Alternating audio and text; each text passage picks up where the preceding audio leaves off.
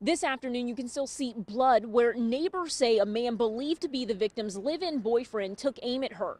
Neighbors say at the time of the shooting, the woman was holding a little boy. A terrifying morning for neighbors living near Tireman and Whitcomb on Detroit's west side after a double shooting. I seen the lady and she was just laying there in the middle of the street, so I thought she might have been drunk or something. I thought she had spilled her liquor or something, so I stopped.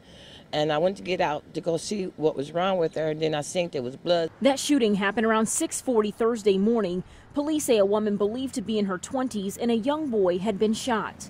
So I checked the pulse to see if they were still alive, but they wasn't. So I went to work on the little boy. Police say the woman died on the scene. The young boy was taken to an area hospital in critical condition, but is now stable.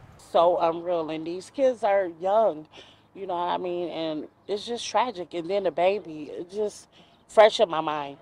Her laying there, her eyes open, like nobody could do nothing for her. A neighbor who didn't want to be identified for fear of retaliation says she believes the gunman was the victim's boyfriend.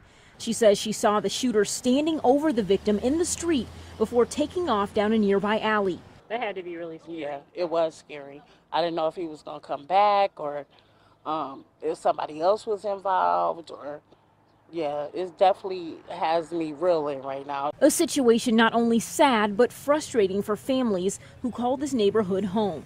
I opened the door to take my daughter to school, and I hear and I see it saw the police, and I hear there's a dead woman in the street, and that's the third time I hear there's dead people around my area.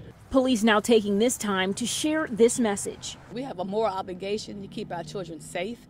Um, unknown this relationship, however, if it was a conflict, we need to learn how to deal with conflict other than using gunfire. Police say that shooter is in custody tonight. They're still working to determine the circumstances surrounding the shooting, but believe it may be a case of domestic violence. Reporting here on the west side, Whitney Burney, 7 News Detroit.